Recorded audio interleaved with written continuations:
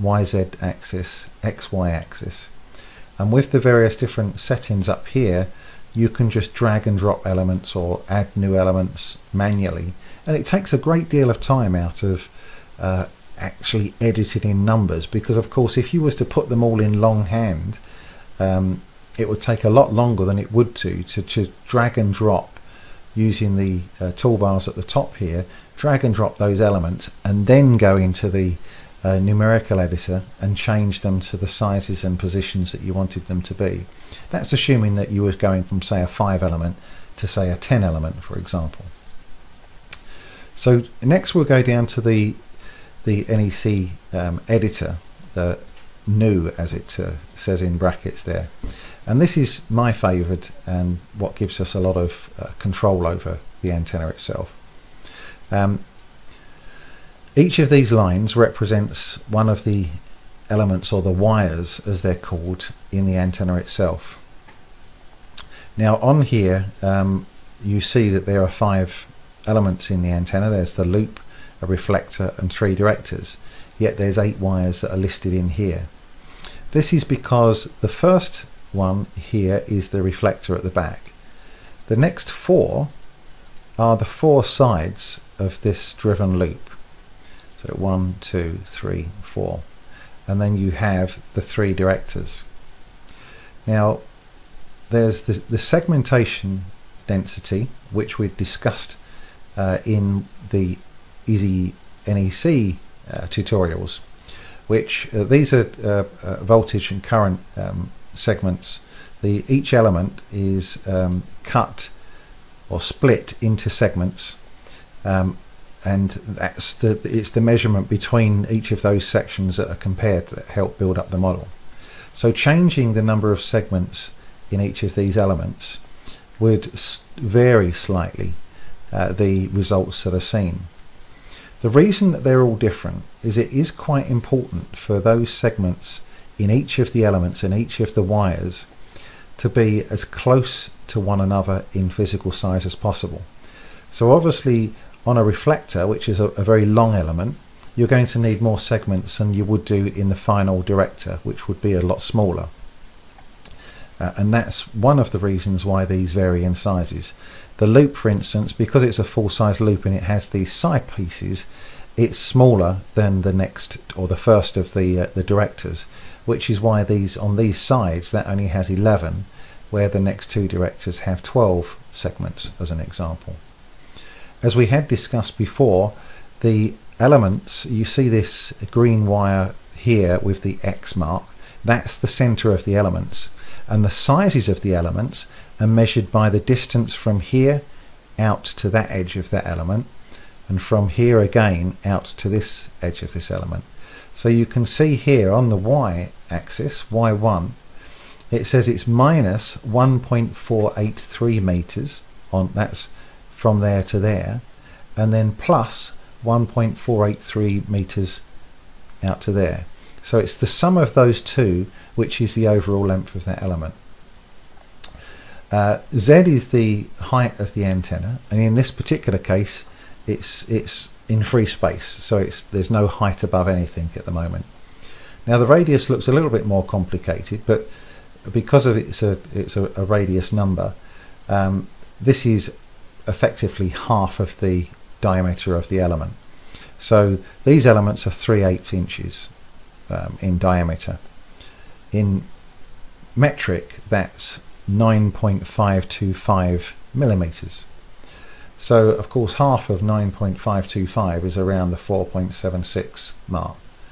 Uh, the driven loop has 3 8 inch at the ends and it's half inch on these main sections here.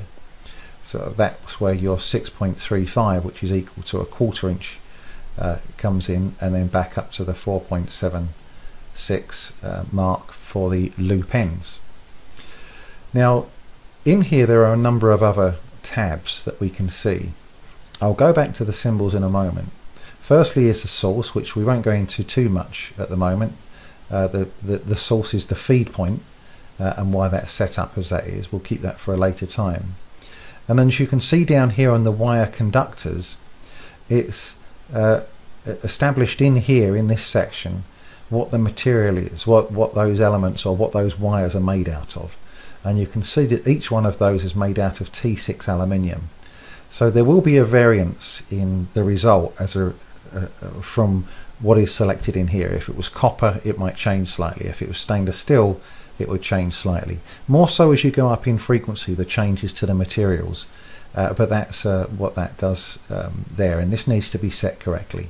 If that's set to zero and there's no material loss involved, then uh, the results will be wrong. The next one in here is the, the frequency um, that uh, uh, the the center frequency of the antenna, or whether you're going to, to have it sweeping a set of frequencies. Um, and then we have the used kernel, which is part of the EZNEC code, and any comments that you might have on that, uh, that antenna. Now, the reason I wanted to come back to the uh, symbols a little later on is I just wanted to cover off something else with you and look at the, the 3D plot in order to uh, see that. At the moment, we're in free space, uh, and this is a, a, a, free space example of the antenna.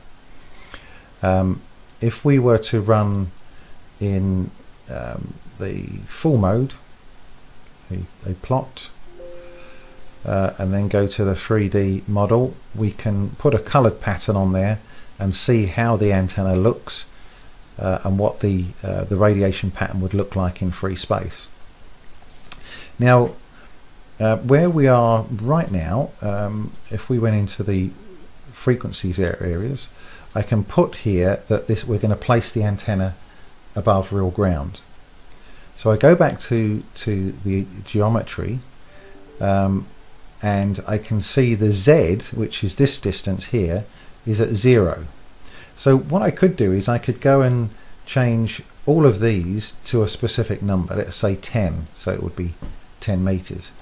If I wanted to then run the antenna at 15 meters to see what that would, um, to, to what result differences there would be between 10 and 15 meters, I would have to go to all of those Z's again and change them from 10 to 15. So if I go to symbols and I enter, for example, H for height equals 10, and we know the measurement is set to, um, to meters, I'll put above uh, or in here um, a note. So when I refer back to that, I know what that's referring to. And now I can change each of these to H. And I'll do that again in this column. And then save that. So let's see what uh, occurs now. Now you can see in the 3D plot things have changed because we've got a representation of the ground underneath the antenna and we can see the antenna visibly above ground. If I change to the multicolour plot I can now see the difference and the change that ground gain has applied to the antenna. The difference is rather than me now having to change all of these to 15 meters I can just go back to this symbols area change that to 5 and press save, I can now run again